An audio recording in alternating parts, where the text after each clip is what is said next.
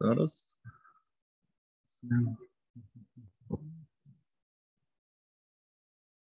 Зараз через верхню плашку не бачу.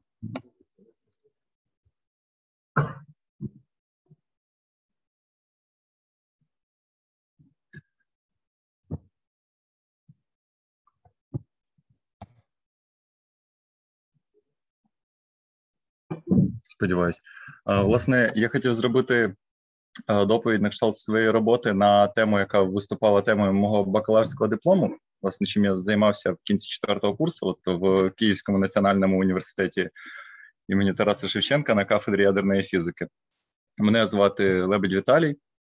Власне, я вже є випускником цього бакалаврата, а тема наукової роботи звучала так: розробка простого і ефективного 2D-телескопу для дослідження міонів космічного випромінювання.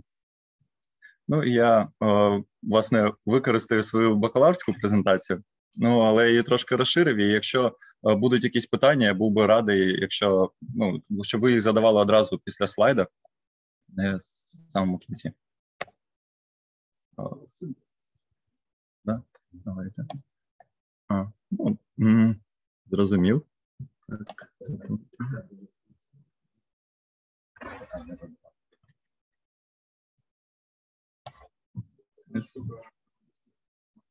А, ага, давай.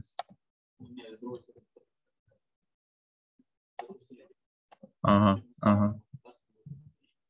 Ось це. Ага, наверх. Ні, це. закриється. Окей, ну давайте не будемо його чіпати. А, Ну, в загальному метою даної роботи було вивчення, дослідження, розробка та конструювання простого і ефективного міонного телескопу на основі детекторів типу камери резистивних пластин англійської Resistive Plate Chamber, скорочено RPC.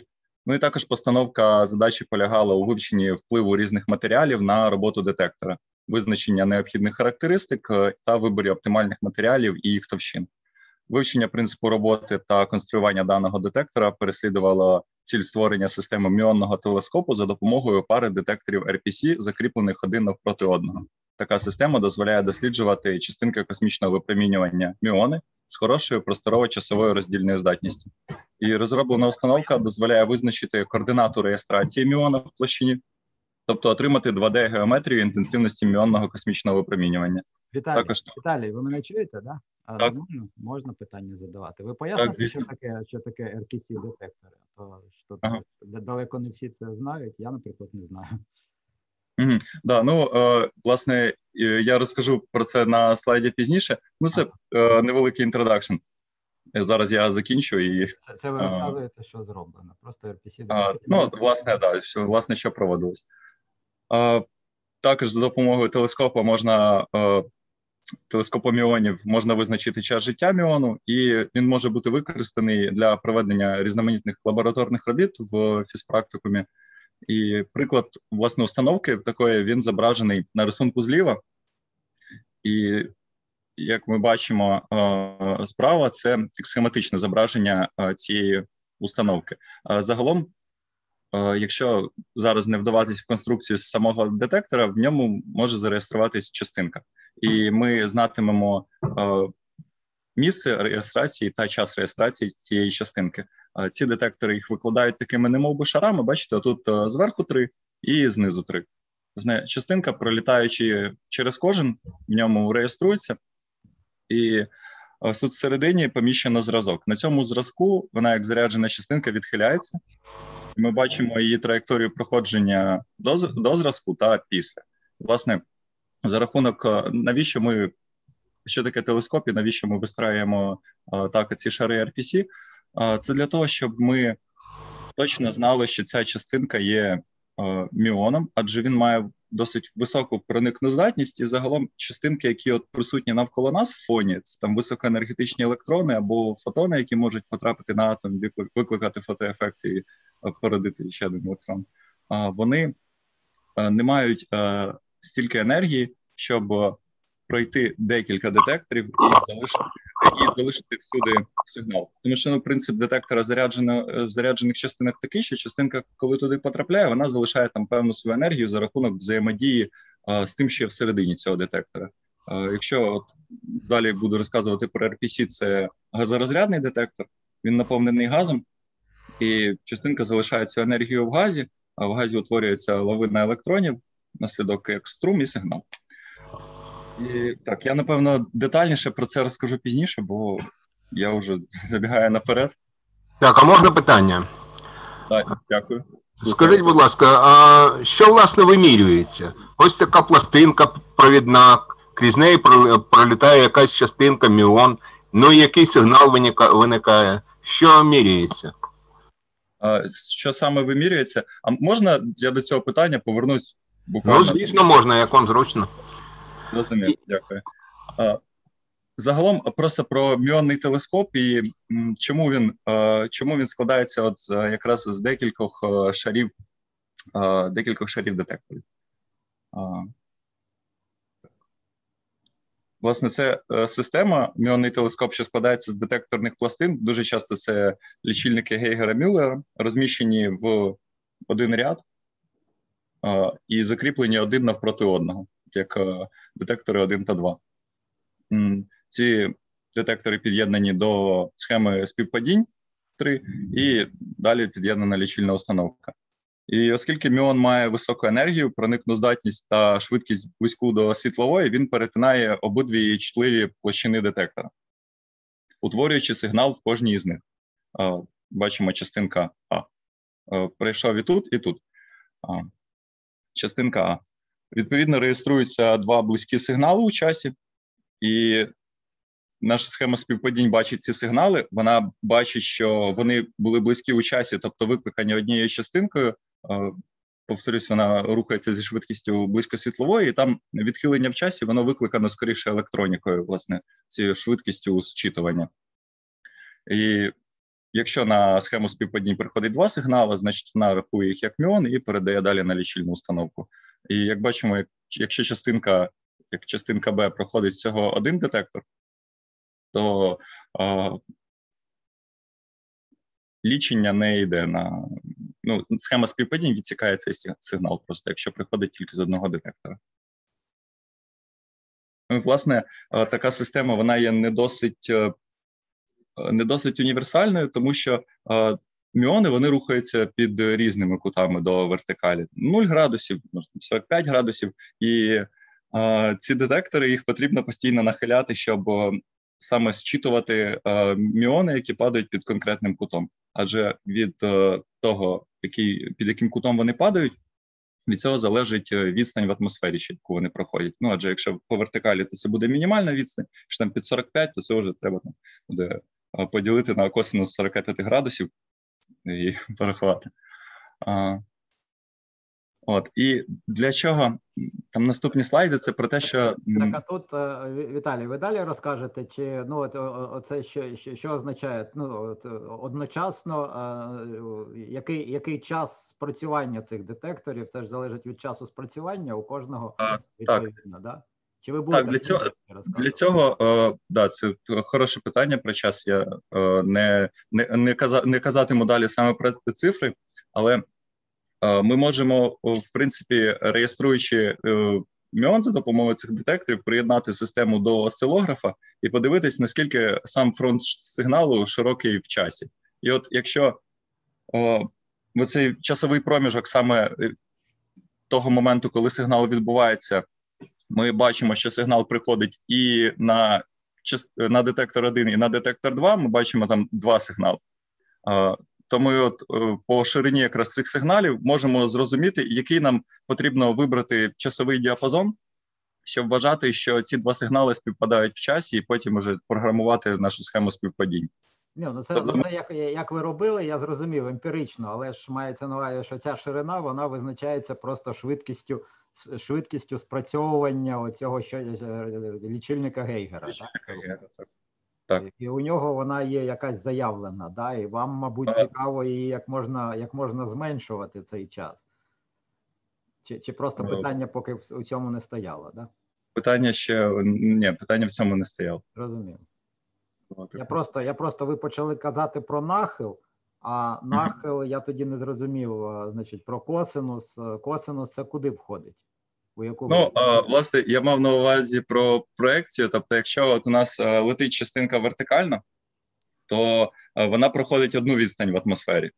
Ну і це, це саме що стосується методики от визначення часу життя міону. Для цього нам потрібно знати, скільки він, яку відстань він пройшов в атмосфері, і відповідно, приблизно скільки часу він там летів. І нахилом кута цієї системи, ну, відповідно, ми не би зміщуємо там, наприклад, детектор 1 відносно детектора 2 сюди в бік. І от у, у них вже на, нахил буде інший. ну, а, да. Нахилом цієї системи ми якраз е, визначаємо кут, е, ми регулюємо кут, під яким е, ми детектуємо міони, що прилітають із космосу. І ем, і саме до, до чого тут косинус, я маю на увазі, що е, якщо ну, ми по, верти, по вертикалі у нас е, мінімальна відстань, якщо е, ми будемо досліджувати міони, що рухаються під іншими кутами, то відповідно відстань вже буде збільшуватись. Ну, відстань більше, а як ви цю відстань можете визначати? Ви ж ви, ви ж ви ж не міряєте різницю у часі спрацювання цих детекторів? А, тобто я маю на увазі відстань саме проходження, яку проходить міон в атмосфері. Ну, ні, вас- я, я маю на увазі, що по приладу, по сигналу. Звідки ви знаєте, я, я- я- яку відстань проходить міон? А, я оце не зрозумів. Як, як ви розрізняєте, під яким кутом він, він проходить ці два детектори по, по, по сигналу? а по, по сигналу це визначається не по сигналу, а по взаємному розташуванню цих двох детекторів. Тобто, якщо ну от умовно, якщо в нас є дві трубки, які розташовані. Ви ж наперед Так. не знаєте, під яким кутом летить міон? Ні, ми не знаємо, але їх прилітає достатньо багато з високою інтенсивністю. Тобто на один дециметр квадратний це в середньому один в секунду.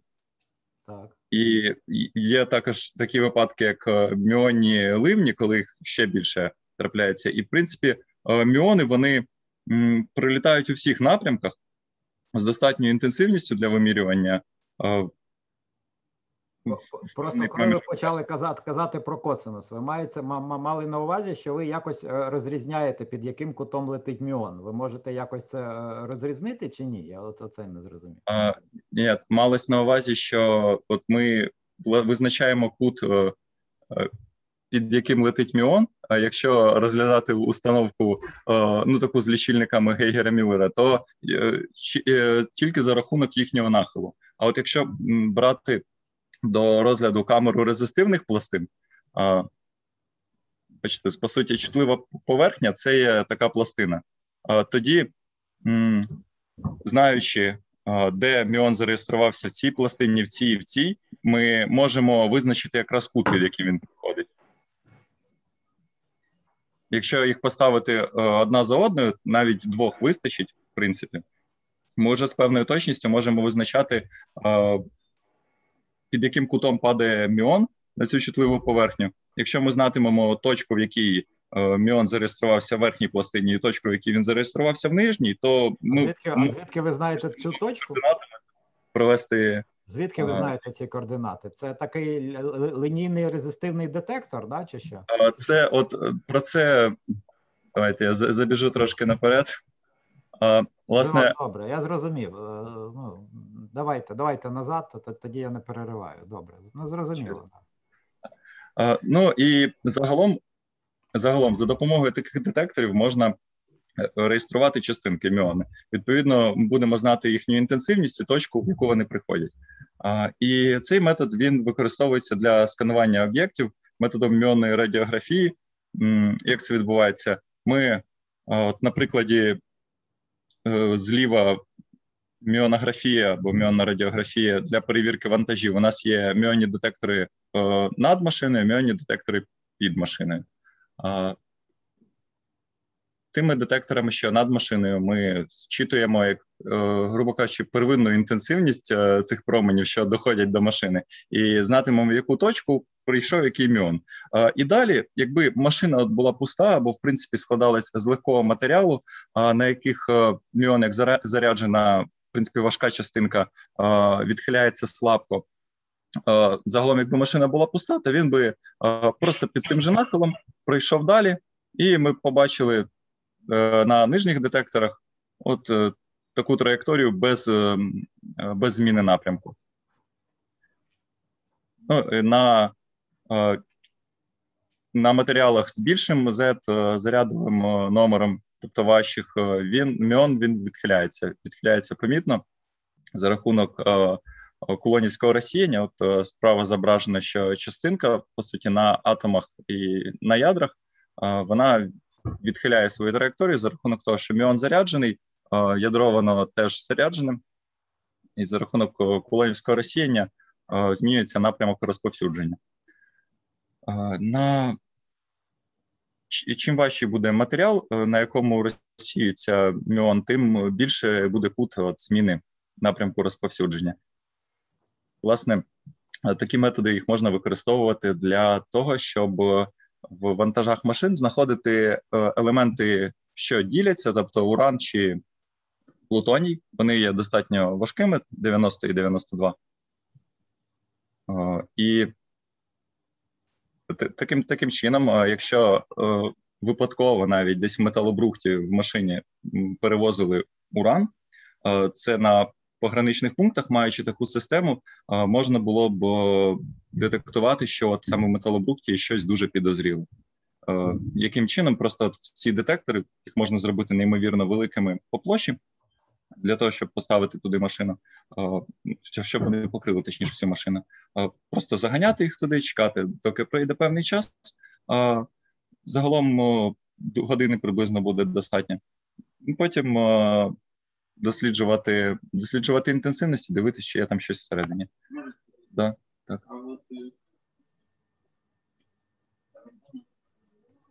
Ну, Умовно так. Голосніше питання задавайте, щоб інші чули. Как наших начальников. Угу. Откуда мы знаем, что те пучки, которые после, ну, какой пучок начальный отвечает какому пучку конечному, или там без разницы, самое главное, что ну, ні, Звісно, це важливо, проте потік міонів не настільки інтенсивний, що там буквально кожні півсекунди приходить частинка. Тобто, ми у нас ця вся система із міонних детекторів вона може бути під'єднана, то вона під'єднана до однієї електроніки, і коли на верхніх детекторах з'являється сигнал, ми вже знаємо, що приблизно в той же часовий проміжок має з'явитися сигнал на нижніх детекторах. Тобто, ми не мов би ідентифікуємо, що якщо у нас там з'явився сигнал на верхньому, значить зараз має бути на нижньому. І от ми повинні реєструвати не реєструвати, а закріпляти ці от сигнали на декількох міонних детекторах як сигнали від одного міона. Власне, таким чином і складені ось ці траєкторії. Я відповів на питання, чи трохи заплутано? Може, е, бувають бувають певні ймовірності і такого, але загалом е, є можливість за рахунок того, що це природне космічне випромінювання, їх там е, не настільки багато, проте за допомогою електроніки можна навіть там з точністю до наносекунд до сотої наносекунди відрізнити ці сигнали в часі. Можна відрізнити їх в часі і, відповідно, співставляти, як я казав, сигнали на верхніх детекторах з сигналами на нижніх, і таким е, чином е, фіксувати, що саме частинка, яка зараз зареєструвалась зверху, вона має зареєструвати знизу, що це одна й та сама частинка. Мені Дякую. от дещо не зрозуміло, ну є у вас важкий атом, хай це буде уран, так? Хай він там у 10 разів важче там е, умовно, так, я зараз не скажу, якогось там заліза чи свинця, так, значить, хай буде заліза, да, значить. Ну, але ж це але ж це маленька кількість. Якщо у вас є там якась залізяка там в центрі, і він, е, значить, і ці міони проходять товстий шар, то вони кожен раз вони можуть е, відхилитися так само, як від від маленького, від одного тонкого шару, але важкого. Хіба ні? Ну, вони в цілому будуть е, мінімально відхилятися, але е, як я читав деяких в експериментах, то вони зберігають свій первинний напрямок. І якщо вони будуть все-таки навіть трохи відхилятись на умовно на залізі, е, то свій первинний напрямок розповсюдження вони збережуть. Це що це означає? А, май, ну, мається на увазі, що багато детектується, да? Тобто, що навіть якщо розсіян цих буде багато, але на легших ядрах, то він не настільки сильно відхилиться від свого первинного напрямку. Ну, це буде певний розподіл, що значить не настільки. Він відхиляється на одному ядрі першому, потім на другому, третьому, і так на десяти. А тут тільки на одному, скажімо. Так, от на на, на 10 більш легших він відхиляється стільки ж, скільки на одно, на одному у десятеро більш важчому, умовно кажучи. І Відповідно, буде оцей розподіл. Ну це ж буде випадкове відхилення, зрозуміло. Це треба багато наміряти, і буде буде певна ширина, буде певне уширення. Так, от це уширення, воно буде пропорційно як вазі цього елементу, ну заряду, так, заряд, заряду ядра, так і відповідно по, просто кількості цих е, процесів розсіяння, яке яке залежить від товщини матеріалу, який він проходить. Угу. А, да, Я дякую вам за запитання. Я а, не можу на нього відповісти так, щоб а, нічого не не вигадувати. Тобто я не не зовсім готовий відповісти на це запитання. А ще а, а ще, от ви казали перед цим, що е, відповідно ці детектори там е, вони втрачають енергію, значить, можна сказати, поглинаються знову ж так. Так, е, так, якщо вони поглинаються навіть в детекторах, то ясно, що у машині у такі вони вони багато знайдуть місць, де де їм поглинутися. Ну, це саме що переріз взаємодії з газом в детекторі у міонів достатньо великий для утворення фотоефекту. А, то він він більший навіть, ніж в залізі?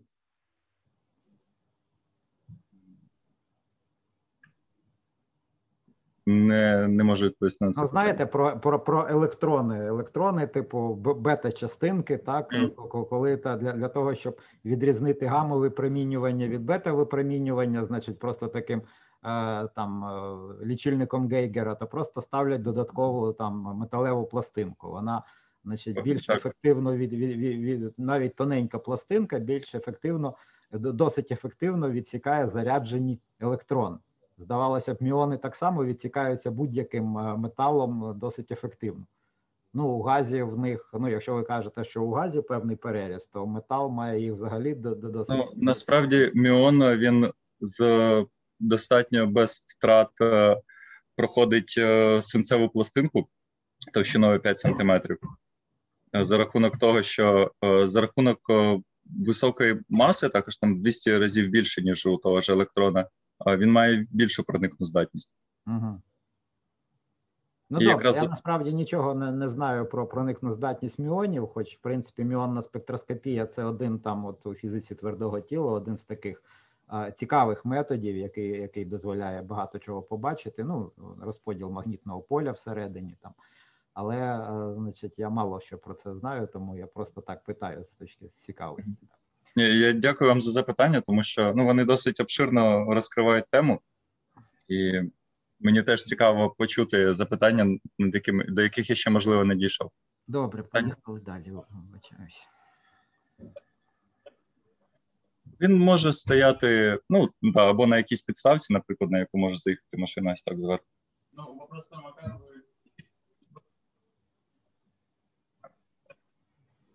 Можна отримати інтенсивність там без машини, наприклад. Загалом там настільки висока проникна здатність, що це буде мінімальні, мінімальними втратами енергії і відхиплення.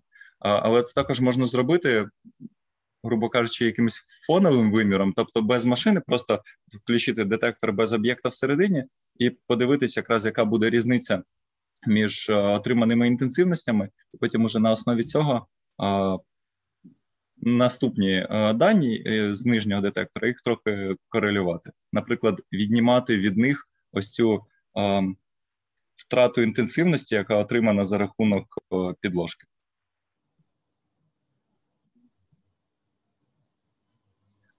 Ну просто про ще про методи. Тобто, де це був був використаний такий метод. Це один із моїх улюблених, напевно, прикладів. А, Загалом, ще в 60-х, якщо я не помиляюсь, роках вчений Альварец він хотів просвітити а, піраміду в Гізі, одну із. А, але тоді були детектори старшого покоління, дротинкові камери. Вони швидко перегорали, через металеві електроди, коли там відбувався розряд, електроди самі по собі згорали. Вони швидко перегорали. Електроніка тоді була не настільки добре розвинута, і він не зміг це зробити. Але от уже в 21 столітті за допомогою міонної радіографії вдалося просвітити це піраміда Хуфу. І одну поставили камеру. Ну, Тут використовувалася емульсивна камера, трошки інший детектор, але принцип той самий. Одну поставили в кімнаті королеви, ось тут, е, іншу е, іншу поставили. Зараз скажу де. В цілому одну поставили всередині, а іншими збирали е, дані, що приходили ззовні. І от ми знали, що в цій піраміді є відомі пустоти. Відповідно, там, де пустоти міон менше заломлюється, там, де е, уже товщі піраміди, міон заломлюється більше. Все таки певні відхилення є. І знаючи, ми знали на картинці, де у нас є пустоти. Ось тут коридор був, тут була якась маленька пустота. І потім отримали ці дві картинки, порівняли первинну інтенсивність, що падала на піраміду, з інтенсивністю, що пройшла всередину, і отримали ось такий результат. Ну, де більш червонішим позначена вища інтенсивність, а, тобто там, де проходило більше частинок, а синішим там, де їх майже не проходило. І от ми бачили, що ну не ми, а взагалом тут видно, що от є точка А, де у нас була відома пустота от кімната короля, була е, була точка Б, цей коридор, і з цього знімку отримали дані, що можливо десь поруч з цим коридором є ще одна пустота. Ну і там, наскільки я знаю по цьому питанні, що зараз ще ведеться ведуться перемовини з владою Єгипту, тому що вони не дуже дозволяють сверлити ці піраміди. Але в цілому це може бути відкриття, наприклад, якоїсь скарбниці чи ще чогось цікавого. Тобто археологічну важливість дослідження навіть теж представляє. І це приклад використання на Фукусімі, на саме на тій АЕС, де відбулася аварія.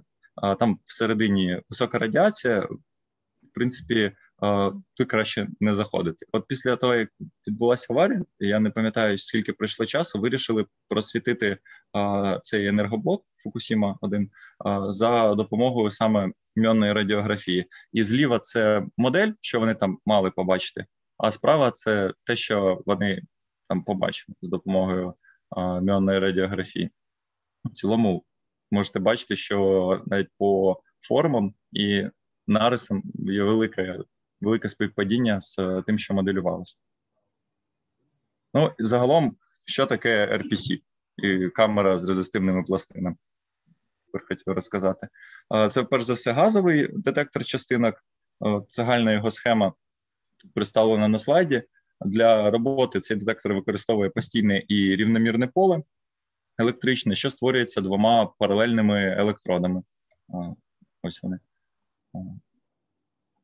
Котрі виготовлені з матеріалу з високим питомим опором, тобто високорезистивні. Принцип роботи базується на виявленні іонізації в газі, що спричинена зарядженими частинками, які перетинають чутливу область детектора утворюючи всередину лавину всередині лавину електронів під дією високої напруги. Тобто, як це відбувається в цей газовий проміжок залітає частинка, вона а, взаємодіє з атомом. А, Взаємодія це фотоефект, коли в результаті взаємодії вилітає електрон. Цей електрон він має енергію енергію частинки, яка про взаємодіяла. Частинка віддає певну енергію, яка йде на те, щоб вирвати цей електрон з атома, а вся інша йде на його кінетичну енергію. Цей електрон далі летить в газі, знову вдаряється в якийсь атом, відбувається той самий процес, і таким чином, таким чином, електрони їхня кількість множиться, і їх уже достатньо. Це називається лавина електронів, коли один вибиває ще декілька, наприклад, два, потім ці два і ще два. Ну і можна так порахувати, що там два в степені n електронів цих буде. Власне, сигналу від цих електронів вже буде достатньо, щоб його считати. Ну, і сама камера вона. Е, являє собою дві знову високорезистив... два високорезистивних електроди. Це може бути скло, наприклад. Вони розділені ізоляційною розпіркою. Це матеріал, а, який має високу діелектричну міцність, тобто він а, можна слово устойчивий, стійкий до електричного пробою. тому що а, він розділяє ці електроди. Чому він має бути стійкий до пробою? Тому що з зовнішніх сторін на ці електроди напилено струмопровідне покриття, і потім на них подається висока напруга, приблизно 10 кВт. Далі ще з зовнішнього боку на електроди поміщується ізолятор, а на ізолятор наклеюються щитуючі смужки. Якраз на ці щитуючі смужки і приходить е, сигнал, що утворений в детекторі. І далі. Зараз я подивлюсь, я все розказав. Нічого не пустив.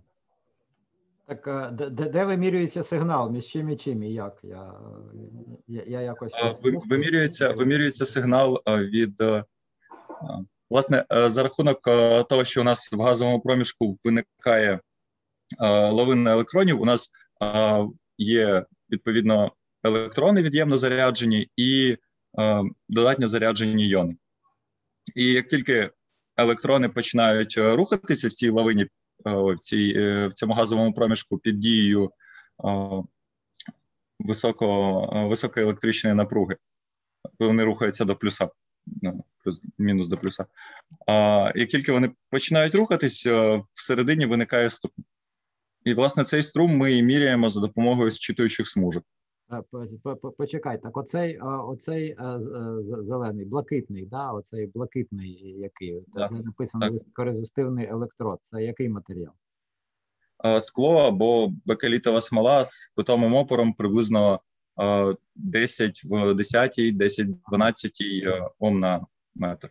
Мається на увазі, це саме з високим опором, да, але, але через нього йде такий пробій, він відчуває цей струм, да, він передає Так. Так. І, і, і це можна, і це можна навіть відчути оцими щитуючими смужками. Да. А так, ці смужки вони виготовлені з міді, кожна з них вона під'єднана до, до електроніки, і ми можемо за допомогою.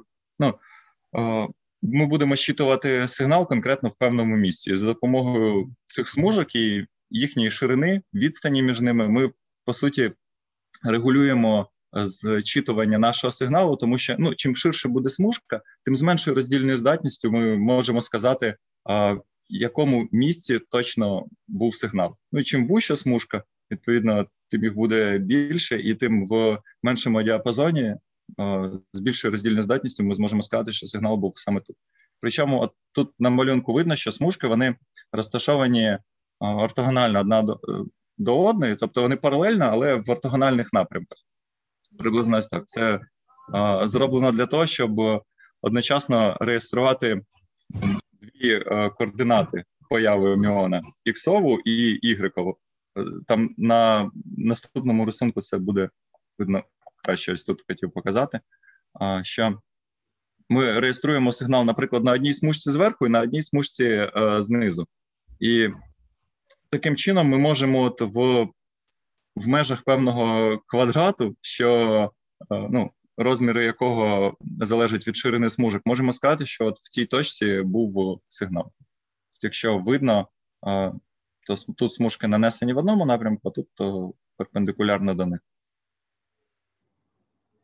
Можливо, це трошки тяжко уявити. Ні, від, ну, відповідно, там ви реєструєте імпульс е, такої напруги, да, е, відпо- Мгм. і, е, і відповідно бачите, між якими двома смужками цей імпульс максимальний. Да? Так, так, саме між якими двома максимальні, тому що ну так як там виникає е, струм, ну інші смужки вони теж мають чутливість, і е, невеликий сигнал буде і на сусідніх. Ми От це, от це те, до чого я не дійшов саме до конструкції, до розробки електроніки. Це дуже великий глобальний процес, щоб відділити ці сигнали на кожних смужках, при тому, щоб вибирати саме конкретну смужку, на якій е, максимум цього сигналу, і щоб казати, що сигнал він найближчий саме до цієї смужки. То з розрахунком того, скільки тут, скільки тут цих смужок, потрібно одночасно якби, моніторити всі. І так.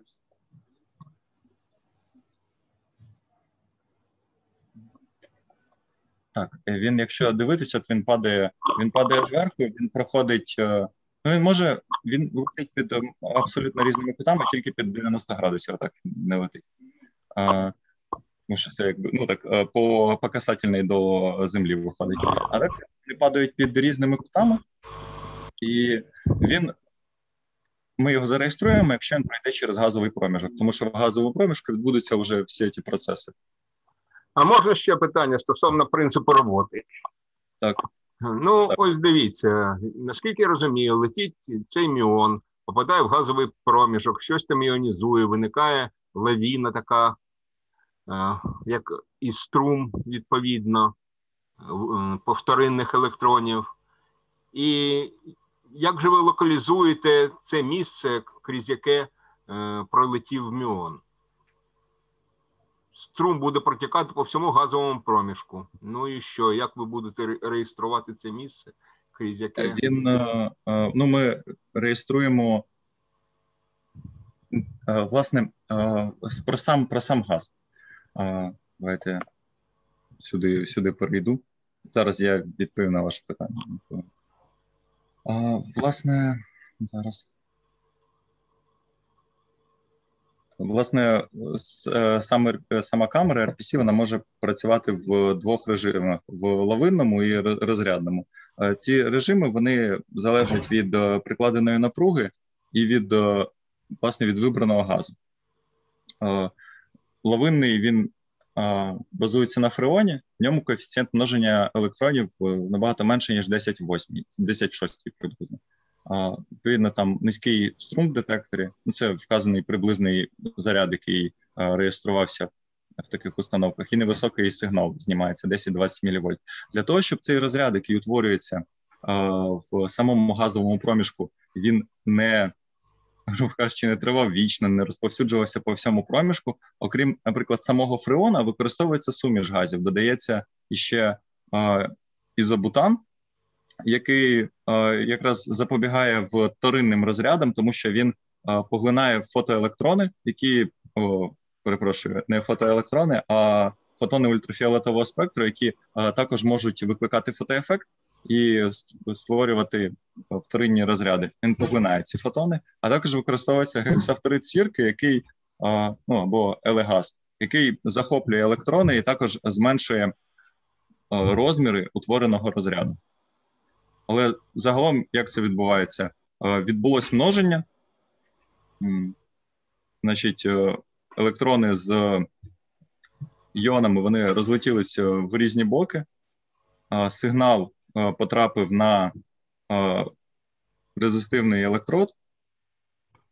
Потім атоми рекомбінували, і все. Там не триває сигнал вічно, і він не розходиться, е, він не розходиться по великій площі, також за рахунок А ось на те, що червоної плями, це в лівій частині малюнку, це такий розмір, в якому існують ці вторинні електрони, і існує е, розряди і відповідно електричне поле. Так які це розміри?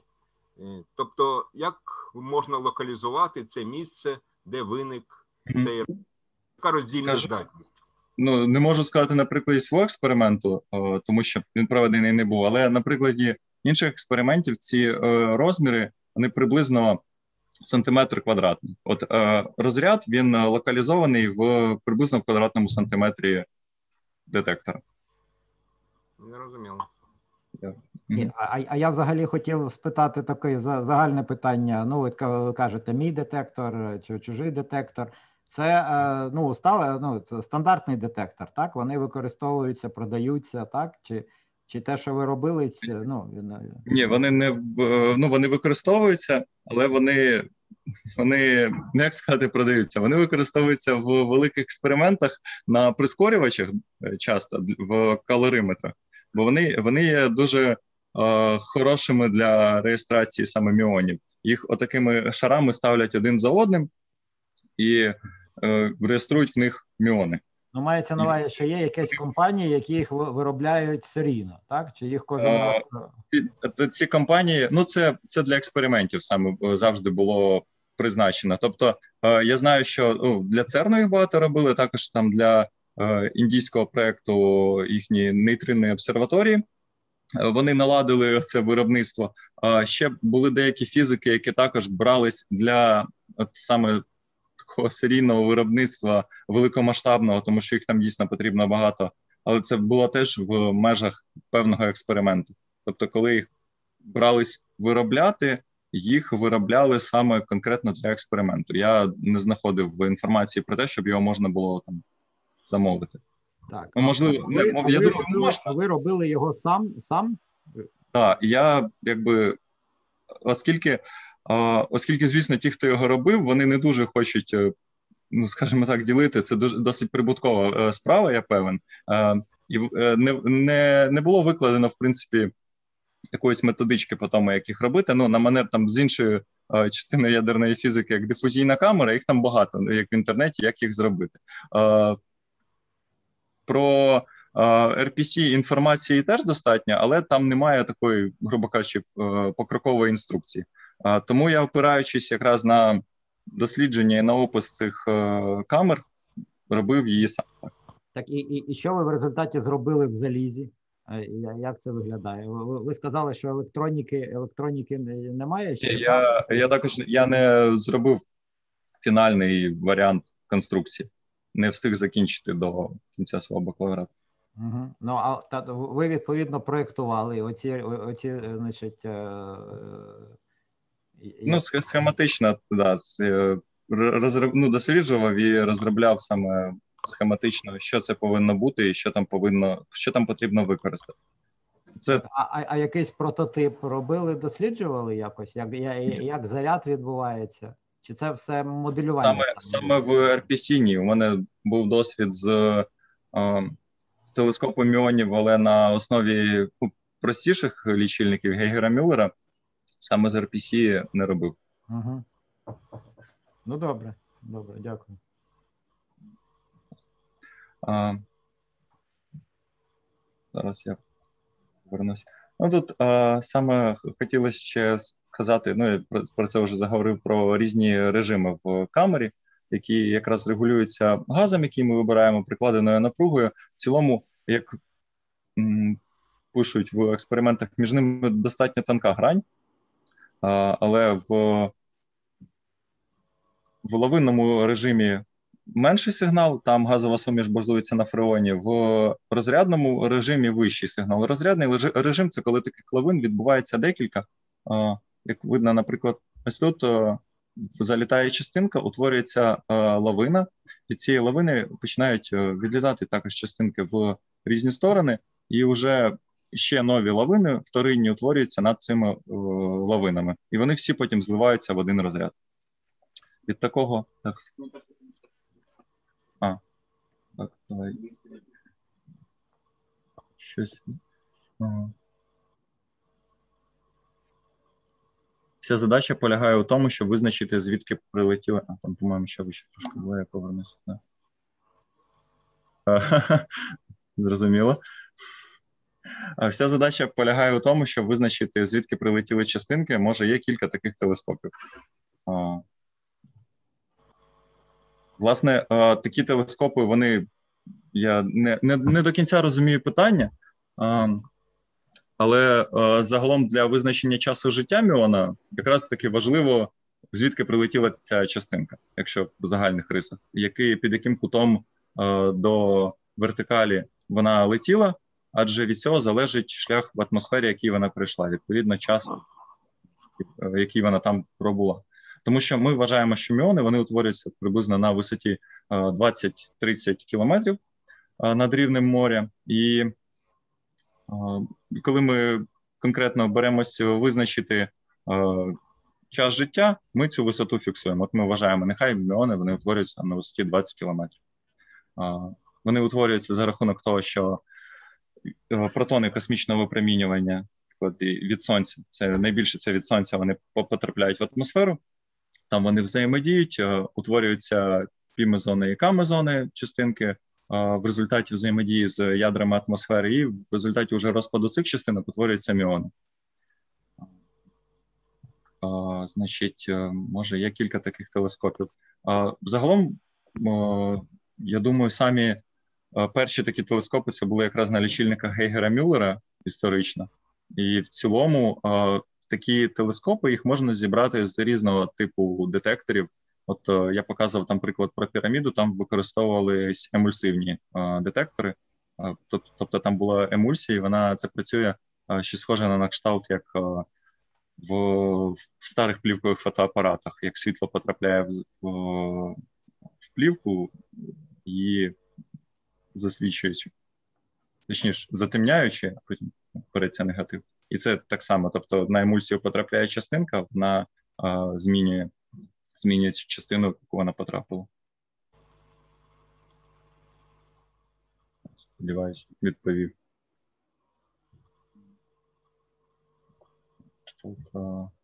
Кшталт, режимів. Ну і власне розрядний режим він е, виглядає кориснішим, тому що там утворюється вищий сигнал. Проте, е, коли у нас е, утворюється розряд в камері, ще потрібен певен час релаксації, щоб е, поверхня, частина поверхні знову стала чутливою. Умовно, там утворилось багато заряду, і треба е, час, щоб е, відбулася релаксація, щоб іони з'єдналися з електронами і знову утворилися нейтральні атоми. І розрядний режим він менше підходить якраз для експериментів на прискорювачах, тому що там, ну, там висока частота утворення подій, пучки, пучки стикаються постійно між собою. Я точно не можу сказати, з якою частотою, але вони стикаються, і от в розрядному режимі часто камер не вистачає, щоб це реєструвати, тому використовується лавина. Про зчитування, про поверхню, в принципі, поговорили.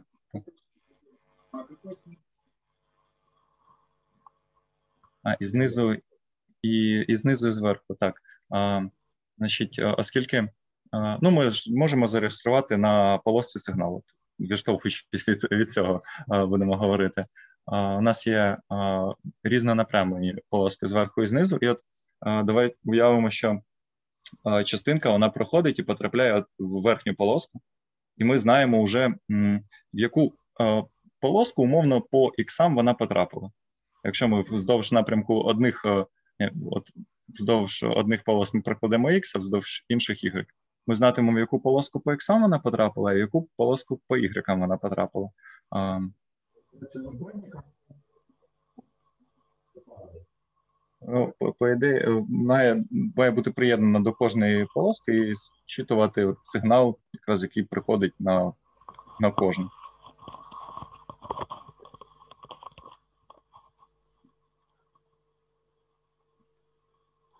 Скажіть, будь ласка, а самі міони, що вони як частинки собою представляють? Який в них власний заряд чи магнітний момент? А, Власний, власний заряд у них такий самий, як у електрона, одиниця, тільки він може бути додатній, може бути від'ємний. А, Вони важчі, масу мають е, масу спокою приблизно 105 МЕВ, тобто вони в 208, по-моєму, разів важчі, ніж електрон. Ну і загалом Ну, досить схожі до нього. Це також лептон. Мають своє нейтрино також. Так, і Мгм. так, і спін. Одна друга. І спін одна друга. А, а відомо щось, я зовсім далекий від цього, тому питання таке: відомо щось е, про інші підходи для реєстрації міонів. Ну, скажімо, е, за допомогою надпровідної електроніки. Е, Такі прилади є сквіди. Вони називаються Superconducting Quantum Interference Device. За допомогою сквідів робило щось на кшталт детекторів міонів? Я от саме цим е, напрямком я не, не цікавився, тому не можу сказати, робилось чи ні. Не можу сказати, чи робилось саме цими детекторами. Зрозуміло, бо мені так, на погляд, скажімо, постороннього, здається, що цей метод реєстрації е, іонів і неміонів, він має дуже низьку роздільну здатність, і е, з точки зору е, вирішення роздільності у часі він теж не оптимальний. Якщо Ну, є кілька, то як їх розділити в часі, то Мені здається, це буде теж важко. А в просторі роздільна здатність сантиметр це дуже низька роздільна здатність. Ну, все, все, ну, все відносно. Якщо, ну, Просто якщо порівнювати да, з одним детектором, де вона реєструється на кожній е, пластинці, ну, на кожній полосці, яка от тут е, довжиною один сантиметр. Якщо брати там той же детектор Гейгера Мюллера, який в діаметрі він приблизно два з чимось, і він тільки один. І ми не знаємо, де там конкретно саме в ньому зареєструвалося. Таким чином, ми хоча б можемо міон, який приходить, відділити відділити за допомогою цих полосок в просторі.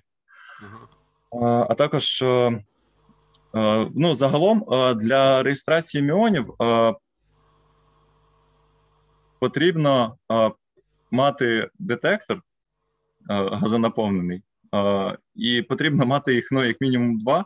Можна між цими детекторами встановити свинець, щоб нічого більше, крім електронів, ой, крім міонів, не реєструвалося в верхньому і в нижньому детекторі. Ну і там уже з допомогою електроніки зчитувати, якщо сигнал приходить майже одночасно на верхній і на нижній, значить це сигнал від міону. Тобто можна багатьма різними методами, тобто метод один можна багатьма різними детекторами. Це... Просто мені здається, що якщо б я займався такою проблемою реєстрації е, міонів, то мені здається, що варто було б зацікавитись можливістю реєстрації проходження міонів за допомогою сквідів, оцих надпровідних квантових інтерферометрів, які дозволяють, перше, дуже підвищити е, е, роздільну здатність, оскільки існують ці сквіди навіть нанорозмірні. Ну, принаймні до мікронів точно можна роздільну здатність. Дякую, дякую за уточнення подивився цей метод. А інше, що не треба ніяких газонаповнювачих е, детекторів, і все можна робити в рамках такої плівкової електроніки. Ну, тобто, якщо ви будете цим займатися, то я рекомендую поцікавитись можливістями сквідів, як таких надчутливих приймачів будь-якого опромінювання, а також е, для реєстрації заряджених частинок. Добре, дякую. Це, це сквіди, це прилад, який лежить в основі такої галузі, як надпровідникова електроніка. І мені здається, тут є хороші перспективи для для саме для таких задач, як ваша. Угу.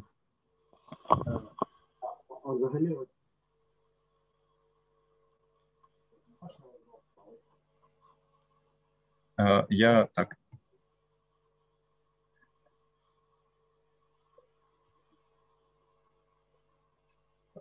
Ну, саме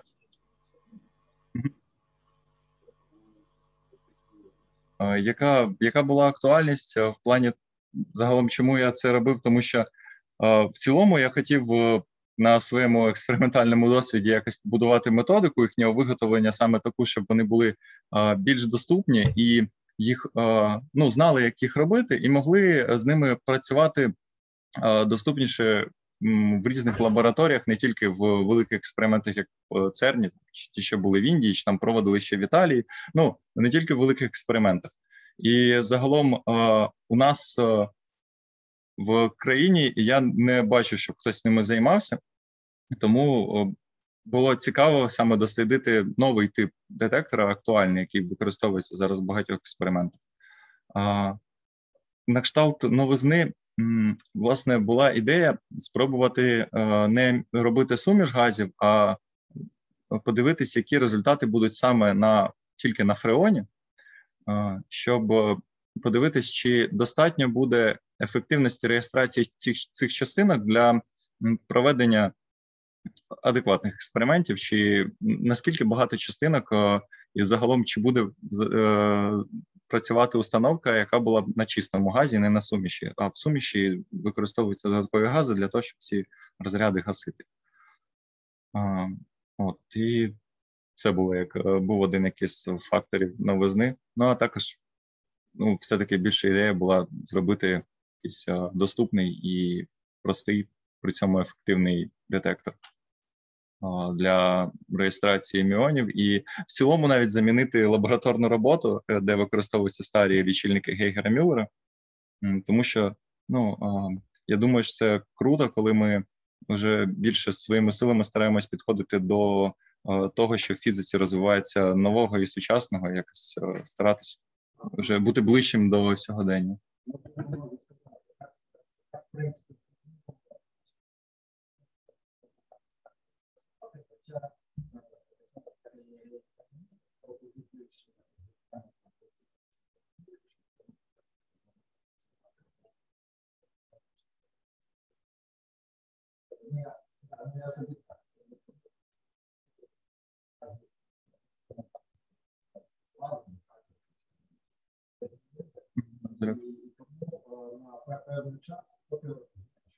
Так, так. Саме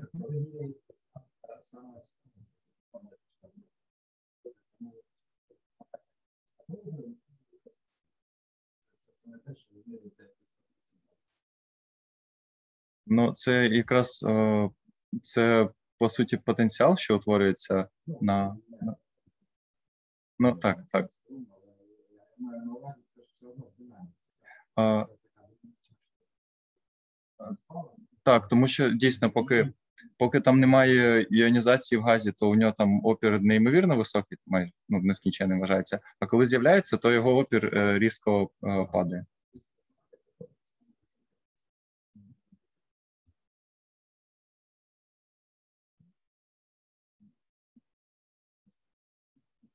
Да, от чесно, в мене, мене теж до цього було багато питань. А,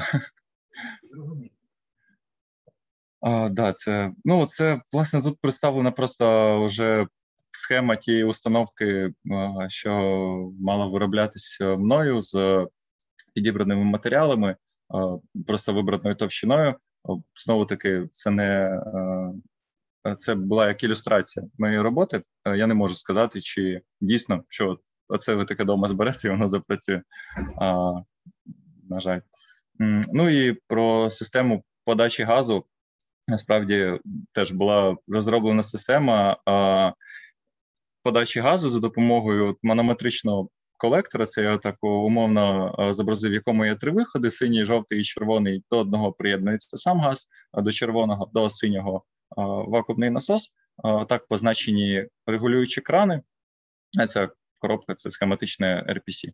І е, жовтий ми подаємо до RPC, і спочатку відкриваємо е, синій, вакуум, вакуумним насосом очищаємо цю камеру, е, потім закачуємо газ. І також, е, що ще, на що ще я звертав увагу, що можна впровадити, це саме закрита система циркуляції цього газу, щоб він е, не так активно потрапляв назовні, а також. Е, да.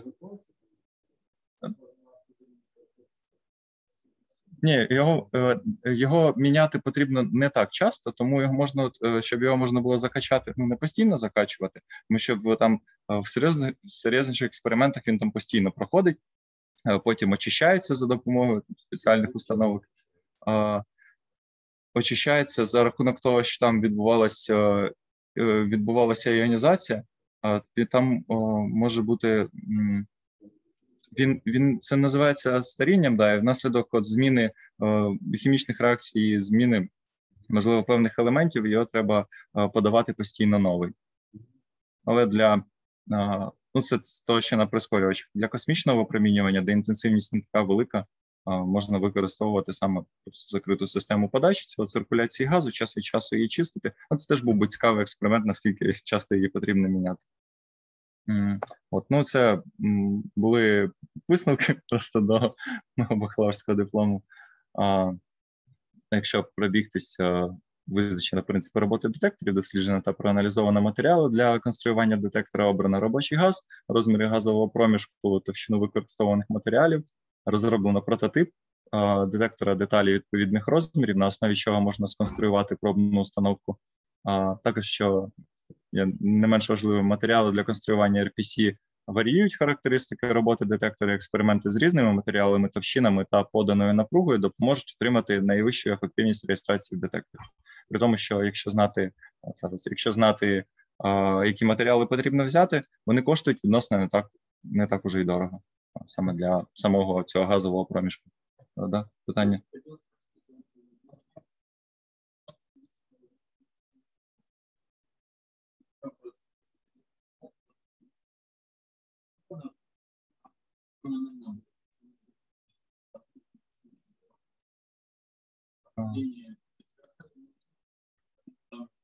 Я напевно заплутав своїм тим, що перше сказав. Мається на увазі, що за допомогою такої системи, визначаючи кут падіння міона, можна поміряти час життя міона. Ну загалом, навіщо міряли його час життя?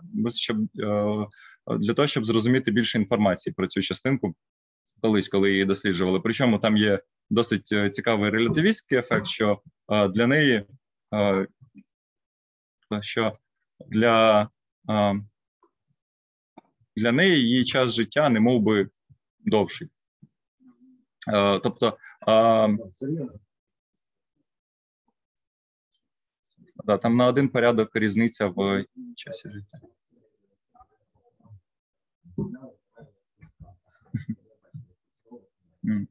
Ну, дійсно, тому що якщо не враховувати його, то у нього там час розпаду приблизно 10 в мінус 7 секунди, і але якщо в нього дійсно був час розпаду 10 в мінус 7, він в перерахунку на ну, помножений час життя на швидкість світла, він би не, не долітав просто до землі. А а за рахунок якраз релятивістського ефекту, у нього насправді 2,2 мікросекунди, 2,2 10 мінус 6 секунд, тому якраз він долітає. Це м, у нас в практикумі з ядерної фізики є така лабораторна, досить цікава лабораторна в цілому. І я згадав саме про визначення часу життя міона, тому що е, це просто цікава експериментальна робота в плані того, що для того, щоб це дійсно поміряти, треба розуміти просто, як працюють складові цієї установки.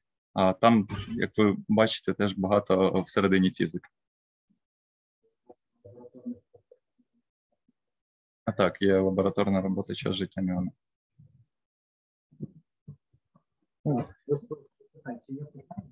Так, да, можливо, у когось ще дійсно залишились питання. Можливо, я щось пропустив із питань, які задавали. В чаті, здається. Якщо немає, то можу зупиняти.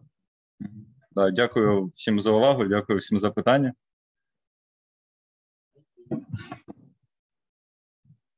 Так. Дякую, Віталію.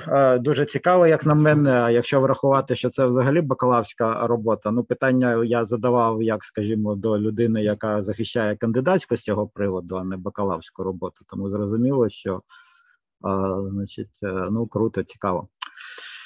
Так, е, добре. Е, давайте, значить, наступного. Ну, Зараз я зупиню запис, щоб його роз.